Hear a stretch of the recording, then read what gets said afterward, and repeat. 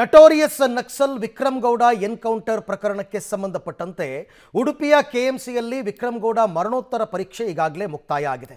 ಇನ್ನೇನಿದ್ರೂ ಮೃತದೇಹವನ್ನು ಕುಟುಂಬಸ್ಥರಿಗೆ ಹಸ್ತಾಂತರಿಸುವ ಪ್ರಕ್ರಿಯೆ.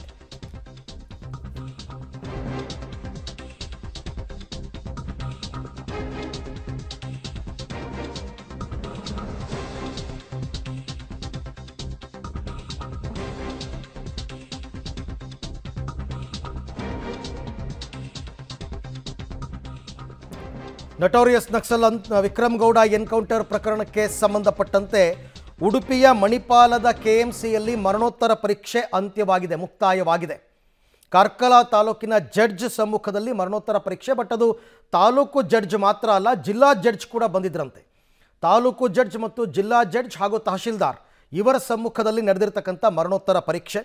ವಿಕ್ರಮ್ ಗೌಡ ಕುಟುಂಬದವರಿಗೆ ಶವದ ಹಸ್ತಾಂತರ ಪ್ರಕ್ರಿಯೆ ಕೂಡ ನಡಿಬೇಕು. ಆದರೆ ಅಂತ್ಯ ಸಂಸ್ಕಾರದ ಸ್ಥಳದ ಬಗ್ಗೆ ಇನ್ನೂ ಕೂಡ ಕುಟುಂಬ ತೀರ್ಮಾನ ಮಾಡಿಲ್ಲ. ಯಾಕೆ ಅಂತಂದರೆ ಅವರಿಗೆ ಸಹೋದರಿ ಒಬ್ಬರಿದ್ದಾರೆ ಸಹೋದರ ವಿಕ್ರಮ್ ಗೌಡ ಸಹೋದರ, ಆತನಿಗೆ ವಿಚಾರ ಗೊತ್ತಾಗಿದ್ದೆ ನಿನ್ನೆ. ಆತ ಇನ್ನೂ ರೀಚ್ ಆಗಿಲ್ಲ.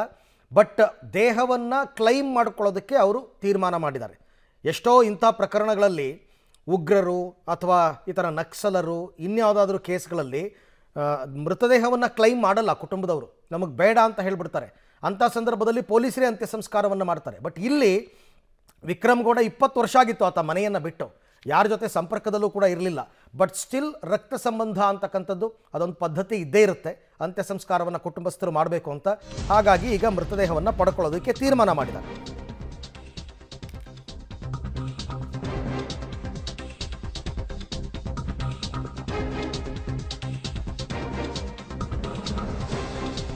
ಇನ್ನು ವಿಕ್ರಮ್ ಗೌಡ ಮೃತದೇಹದ ಸಂಪೂರ್ಣ ಎಕ್ಸ್ರೇಯನ್ನು ಮಾಡಿದಾರಂತೆ.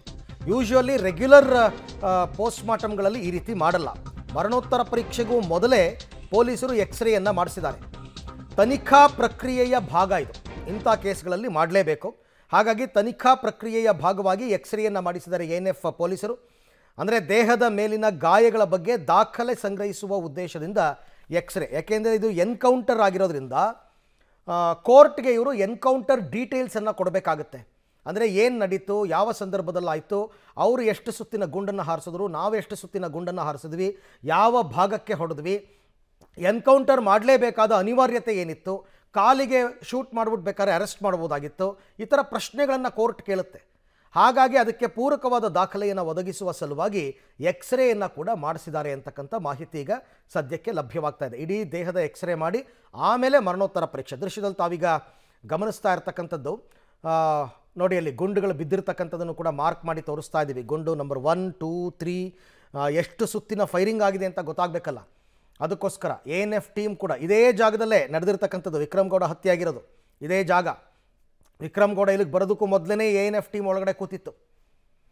ಈ ಎಲ್ಲ ವಿಚಾರಕ್ಕೆ ಸಂಬಂಧಪಟ್ಟಂತೆ ಮತ್ತಷ್ಟು ಮಾಹಿತಿ ನನ್ನ ಕೊಲೀಗ್ ದೀಪಕ್ ಜೈನ್ ಅವರಿಂದ ಪಡ್ಕೊಳ್ತಾ ಹೋಗ್ತೀನಿ. ಎಸ್, ದೀಪಕ್, ಈಗ ಎನ್ಕೌಂಟರ್ ನಂತರ ಇಲ್ಲಿಯ ತನಕ ನಡೆದಿರುವ ಪ್ರಕ್ರಿಯೆಗಳು ಏನು?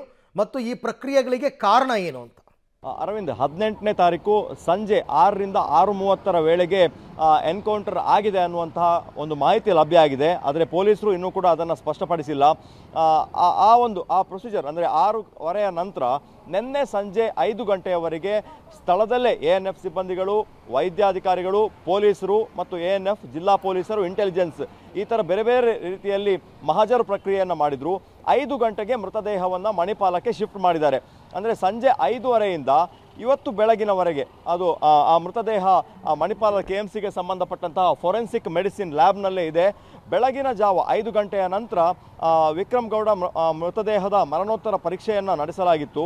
ನಿನ್ನೆಯೇ ತಾಲೂಕು ಮ್ಯಾಜಿಸ್ಟ್ರೇಟ್ ಬಂದಿದ್ದರು ಮತ್ತು Udupi J M F C ಕೋರ್ಟ್ನ ಮ್ಯಾಜಿಸ್ಟ್ರೇಟ್ ಬಂದು ಇಲ್ಲಿ ಮೃತದೇಹದ ಒಂದು ಇನ್ಕ್ವೆಸ್ಟನ್ನು ಮಾಡ್ತಾರೆ.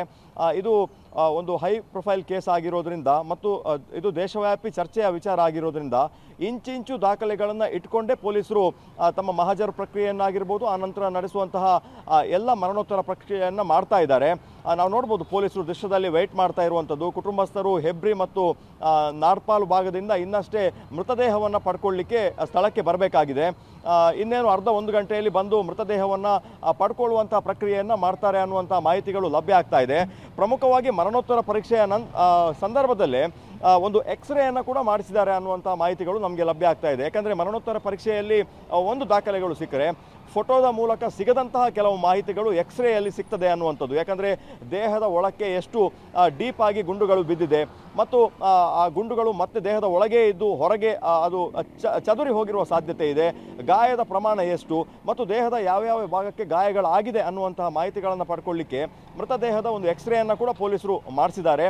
ಹಾಗಾಗಿ ಸುಮಾರು ಹದಿನೆಂಟನೇ ತಾರೀಕು ಸಂಜೆ ಆರು ಗಂಟೆಯಿಂದ ಈ ಕ್ಷಣದವರೆಗೆ, ಇಪ್ಪತ್ತನೇ ತಾರೀಕಿನ ಬೆಳಗಿನವರೆಗೂ ಕೂಡ ಪೊಲೀಸರ ವಶದಲ್ಲೇ ಮೃತದೇಹ ಇದೆ. ಎಲ್ಲ ದಾಖಲೆಗಳನ್ನು ಮುಂದೆ ಕೋರ್ಟ್ನಲ್ಲಿ ಆಗುವಂಥ ಎಲ್ಲ ಪ್ರಕ್ರಿಯೆಗಳಾಗಿರ್ಬೋದು, ಅಥವಾ ಮಾನವ ಹಕ್ಕು ಹೋರಾಟಗಾರರು ಕೇಳುವಂಥ ಕೆಲವು ಪ್ರಶ್ನೆಗಳಿರ್ಬೋದು, ಅಥವಾ ಸಾರ್ವಜನಿಕರು ಕೇಳುವ ಪ್ರಶ್ನೆ, ಕುಟುಂಬಸ್ಥರು ಕೇಳುವ ಪ್ರಶ್ನೆ, ಎಲ್ಲದಕ್ಕೂ ಕೂಡ ದಾಖಲೆಯ ಉತ್ತರವನ್ನು ಕೊಡಬೇಕಾಗ್ತದೆ ಎ ಎನ್ ಎಫ್ ಟೀಮು. ಹಾಗಾಗಿ ಇಡೀ ನಿನ್ನೆ ರೂಪಾ ಅವರು ಹೇಳುವ ಪ್ರಕಾರ ಆಂತರಿಕ ಭದ್ರತೆಯ ಮುಖ್ಯಸ್ಥರು ಇದರಲ್ಲಿ ಇಂಟೆಲಿಜೆನ್ಸ್ ಪೊಲೀಸರು ಇರ್ಬೋದು ಎ ಎನ್ ಎಫ್ ಜಿಲ್ಲಾ ಪೊಲೀಸರು ಮತ್ತು ಕರ್ನಾಟಕದ ಇಂಡಸ್ಟ್ರಿಯಲ್ ಫೋರ್ಸ್ ಈ ಟೀಮ್ ಬಂದು ಈ ಒಂದು ಕಾರ್ಯಾಚರಣೆಯನ್ನು ನಡೆಸಿರೋದ್ರಿಂದ ಸಂಪೂರ್ಣವಾದ ಎಲ್ಲ ದಾಖಲೆಗಳನ್ನು ಈಗಾಗಲೇ ಪೊಲೀಸರು ಪಡ್ಕೊಳ್ತಾ ಇದ್ದಾರೆ. ಮರಣೋತ್ತರ ಪರೀಕ್ಷೆ ಕಂಪ್ಲೀಟ್ ಆಗಿದೆ. ಮೃತದೇಹವನ್ನು ಕುಟುಂಬಕ್ಕೆ ಕೊಡ್ತಾರೆ. ಆದರೆ ಈ ಮೃತದೇಹದ ಅಂತ್ಯ ಸಂಸ್ಕಾರವನ್ನು ಎಲ್ಲಿ ಮಾಡ್ತಾರೆ ಅನ್ನೋದು, ಒಂದಾ ಹೆಬ್ರಿ ಅಥವಾ ಉಡುಪಿಯ ಸ್ಮಶಾನದಲ್ಲೇ ಮಾಡ್ತಾರೆ ಅನ್ನೋದನ್ನ ಇಲ್ಲಿ ಇವತ್ತು ಅವರು ಡಿಸೈಡ್ ಮಾಡಲಿಕ್ಕಿದ್ದಾರೆ ಅರವಿಂದ್. ಹಾಗೆ ಸಂಪರ್ಕದಲ್ಲಿರಿ ದೀಪಕ್ ನಿಮ್ಮ ಜೊತೆ ನಾನು ಮತ್ತೆ ಮಾತನಾಡ್ತೀನಿ. ಗೊತ್ತಿಲ್ಲ. ನಾನೆಂದರೆ ನಾನು ಊರಲ್ಲಿ ಇರಲಿಲ್ಲ ಮದುವೆಯಾಗಿ. ನಾನು ಬೇರೆ ಬಾಂಬೆಯಲ್ಲಿ ಇದ್ದೆ ಒಂಬತ್ತು ವರ್ಷ. ನನಗೆ ಗೊತ್ತಿಲ್ಲ ಅವರು ಹೋಗುವಾಗ ಎಂತ ಗೊತ್ತಿಲ್ಲ.